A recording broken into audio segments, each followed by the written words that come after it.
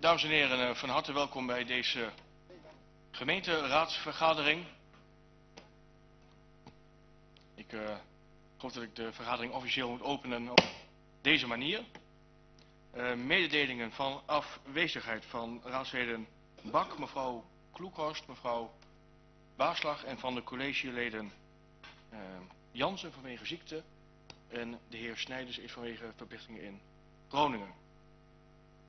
Mededelingen van uw kant. Dat is niet het geval. Dan wil ik naar punt 2 van de agenda gaan. Het vaststellen van de agenda. Zijn daar op- of aanmerkingen over? Dat is niet het geval. Dan stellen we de agenda zo vast. Het spreekrecht bij de agendapunten. Er heeft zich niemand voor gemeld. Kort. Sluit ik dat punt af. We bij punt 4, de actuele vragenronde. De heer Reiling, de heer Dogger, de heer Reiling, ga u gang. Ja, dank u wel voorzitter. Op 9 juni heeft de Raad het amendement Programma Centra Hardenberg aangenomen.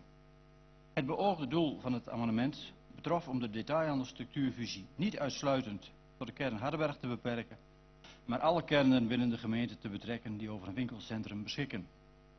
Tevens werd in het amendement besloten dat voor de begrotingsvergadering 2016 een plan van aanpak zou worden gepresenteerd.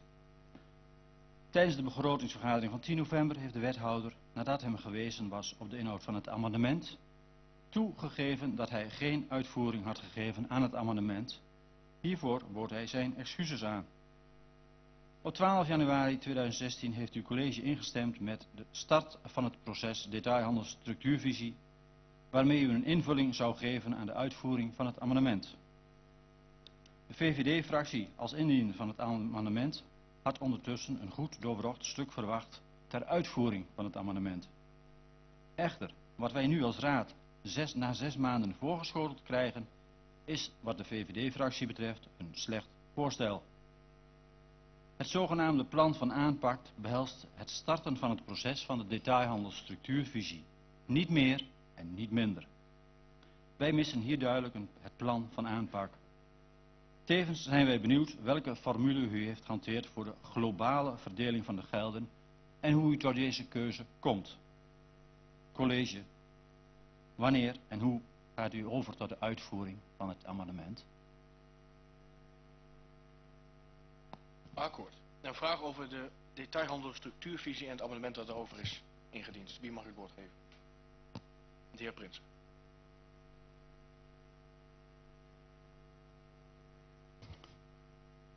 Voorzitter, dank u wel. Als u, uh, als u de vragen uh, beluistert, dan lijkt het net alsof er, af, af er vanaf uh, de indiening van het amendement niks gebeurd is. Nou, dat is niet waar. We zijn volop bezig met actieplan Centrum Hardenberg, dat is inmiddels ook afgerond. We zijn volop bezig met actieplan Centrum Dedemsvaart. Dat hopen we rond maart samen met de stakeholders uit het dorp Dedemsvaart af te ronden. Daarnaast hebben we in Gramsbergen eh, hebben we het nodige op de schop gehad. In, uh, in Slagaren al eerder. In Balkbrug zijn we in gesprek, maar uh, sterk afhankelijk van, uh, van marktomstandigheden. En ik weet dat er ook met portefeuillehouder Jansen gesprekken zijn in Bergentheim. Dat is één kant van het verhaal. Daarnaast hebben we afgesproken dat wij een detailhandelsvisie, zeg maar gemeentebreed, aan het maken zijn. En voor de kernen Hardenberg en Dedemsvaart komt er een detailhandelsstructuurvisie. En die detailhandelsstructuurvisie zal met name de ruimtelijke uh, functioneel, zal met name het ruimtelijk functioneel kader voor de detailhandel uh, proberen aan te geven. En daaruit komen ook weer actieprogramma's. Ja, en dat zijn geen trajecten die je zo van vandaag op morgen doet. Voor de vier kleinere kernen waar ook nog uh, middenstand is, uh, zullen dat niet zulke uitgebreide detailhandelsvisies zijn, omdat we die in het verleden al hebben gehad en ook al grotendeels hebben uitgevoerd. Maar daar zullen we kijken waar hebben we nog wat aanvulling nodig en waar kunnen we nog wat betekenen. Uh, over de verdeling van de middelen, er is geen hogere wiskunde op toegepast. Het heeft toch te maken met complexiteit, grootte, ja, en deze bedragen zijn ook niet in, uh, in beton gegoten.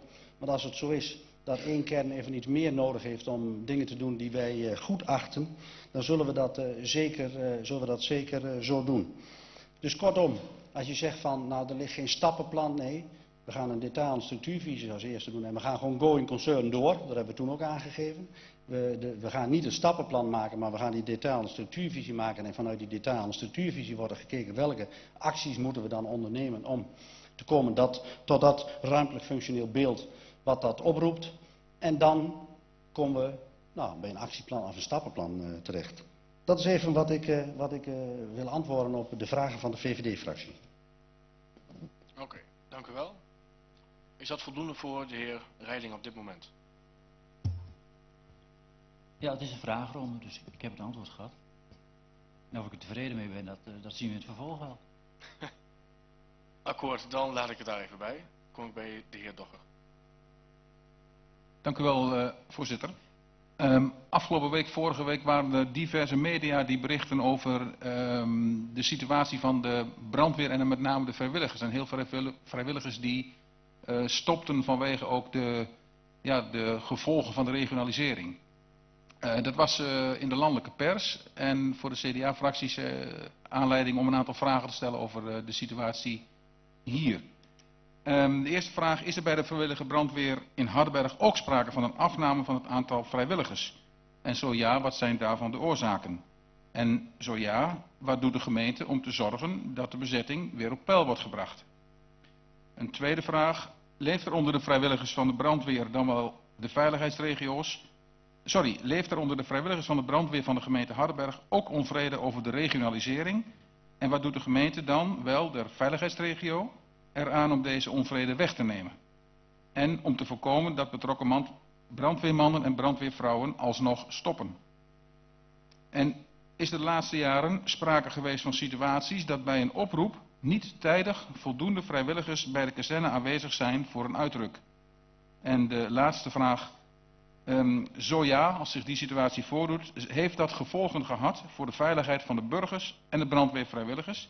en het bestrijden van branden dan wel andere inzetten. Dank u wel.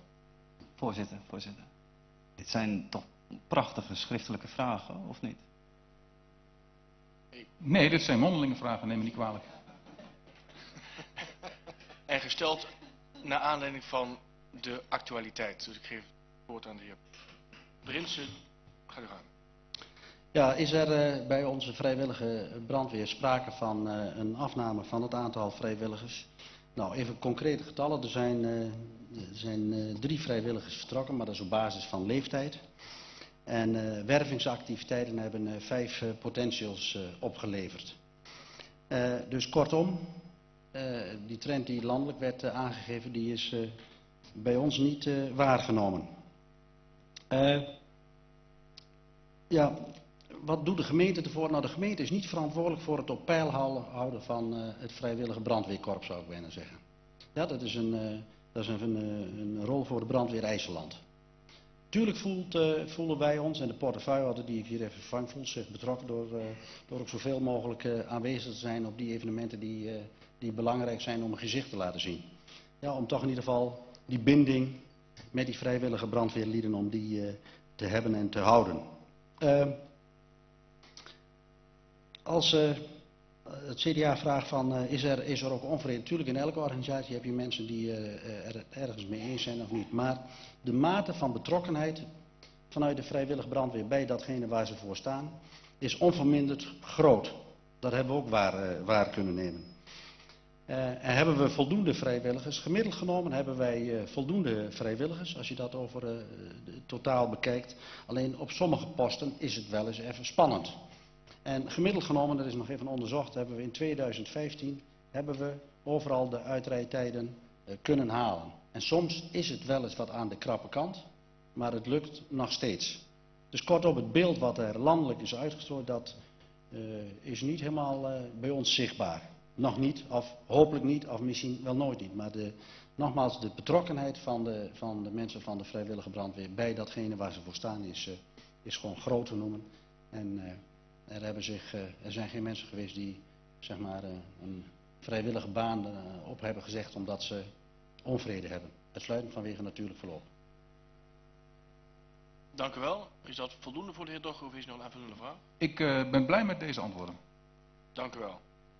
Dan kijk ik nog even gauw rond, maar ik zie verder niemand meer voor de actuele vragenronde. Dan zal ik dat punt afsluiten. Kom bij punt 5, het vaststellen van de besluitenlijst van de raadsvergadering van dinsdag 12 januari 2016. U heeft op voorhand niet behoefte gehad om daarop te reageren. Dat is ook nu niet het geval. Dan is die vastgesteld. Kom ik bij de hamerstukken waarover u mogelijk een stemverklaring eh, kunt geven. Vaststelling, bestemmingsplan eh, buitengebied Hardenberg, de Geert Michelsweg in Schuinersloot. Punt 6 van de agenda. Stemverklaring. Ik zie de heer Wils. Gaat u gang. Voorzitter, de fractie van de ChristenUnie wil de portefeuillehouder bedanken voor de wijzigingen in het eh, voorstel. Ehm, ik begrijp eh, dat hij eh, ook eh, regelmatig de verkeerssituatie daar zal controleren. Neem aan dat hij dan van Dedemsvaart misschien naar Hardenberg via Slagharen of uh, Schuinersloot rijdt. Dat is dan oh, op, oh, van Slagharen. Nou, mooi in de buurt. Maar hartelijk dank voor deze regeling. Akkoord. Kunt u instemmen met het plan dat voor ligt? Dat is het geval. Al dus besloten. Punt 7. Consequenties doorontwikkeling openbaar gebied. Wijzigingen in het budget en de geldstromen. Behoefte aan stemverklaring. Niet het geval. Kunt u instemmen met het plan dat voor ligt?